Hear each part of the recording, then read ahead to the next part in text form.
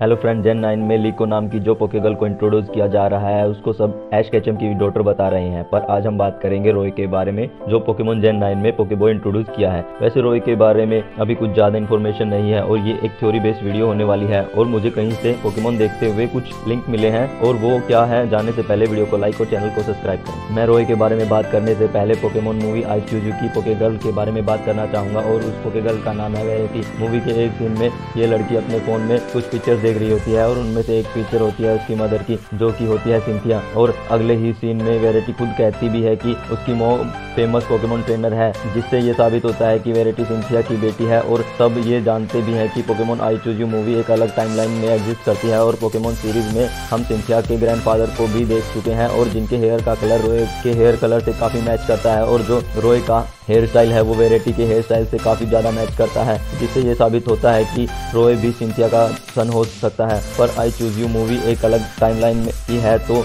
ये हो सकता है कि पोकेमोन की जो मेन टाइमलाइन है, उसमें सिंथिया का सन हो, ना कि डॉटर या फिर सन और डॉटर दोनों भी हो सकते हैं। और अगर ये थ्योरी सच साबित होती है तो पोकेमोन सीरीज़ अलग लेवल पर जाने वाली है।